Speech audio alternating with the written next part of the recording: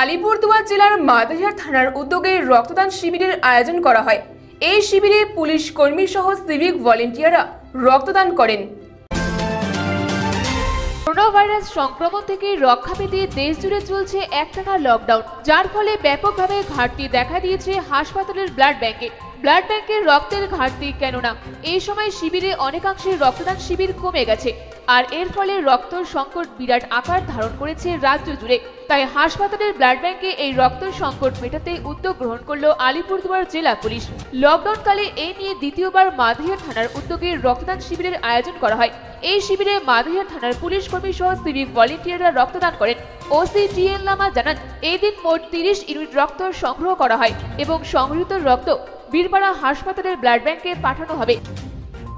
কি বিষয়ে এখানে প্রোগ্রামটা কি হচ্ছে বিস্তারিত? এটা আমাদের second phase of blood donation camp হচ্ছে এখানে আমাদের।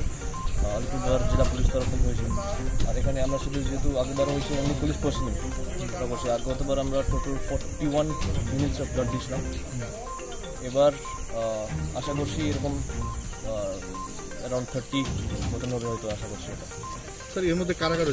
পুলিশ না বাড়ির লোকরা স্যার এখানে অনলি পুলিশ। স্যার একটা ব্যাপার সেটা হলো যে এখানে ডাক্তাররা কোথা থেকে এসেছেন এবং আপনারা কালেক্টেড ব্লাডটা কোথায় পাঠাবেন? এটা আমরা বীরপাড়া ব্লাড ব্যাংক পাঠাচ্ছি। ডক্টরটা আমাদের বীরপাড়া থেকেই আসে।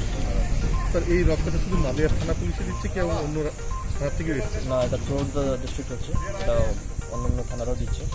আজকে আমাদের শিডিউল ওয়াইজ আজকে আমাদের আছে তো আমরা আছি মাদারিহাট থেকে ভয়েস আপ কি আওয়াজের প্রতিনিধি নারায়ণ দাসের রিপোর্ট।